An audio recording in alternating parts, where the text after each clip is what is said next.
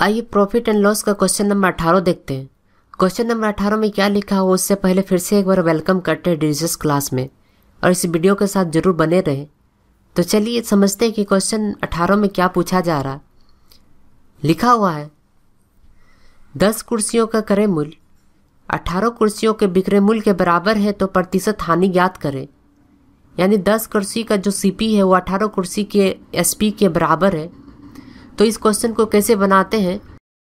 सबसे पहले इस क्वेश्चन में जो हमें लॉस हो रहा है, कितने का लॉस हो रहा है? आठ वस्तु का, यानी आठ कुर्सी का लॉस हो रहा है। तो इसको परसेंट में कैसे व्यक्त करते देखिएगा। परसेंट लॉस बराबर कितने का लॉस हो रहा है?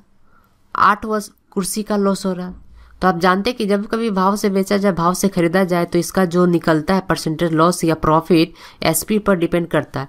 यानी कि यहाँ पर कर सकता है आठ अठारह का कितना परसेंट है? आठ अठारह का कितना परसेंट है? आठ अठारह का कितना परसेंट है? तो इसको सिंप्लीफाई करते हैं। तो यहाँ से काटते हैं चार, यहाँ से काटते हैं नौ। यानी कि चार सौ बटा नौ आया।